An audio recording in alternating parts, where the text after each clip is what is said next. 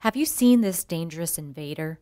The Asian tiger mosquito is trying to make Southern California its new home, and health officials need your help to stop it. This tiny black and white striped mosquito bites during the day and spreads many deadly diseases worldwide. Do your part to help stop this infestation and protect our way of life.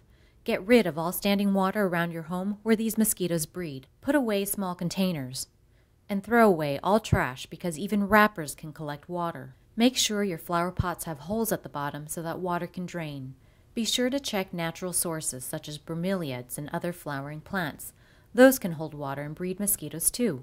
You and your neighbors can make the difference in the fight to get rid of Asian tiger mosquitoes in California. To report breeding sources, mosquito sightings, or daytime bites, contact the Greater Los Angeles County Vector Control District. Visit us online at www.glac vcd.org.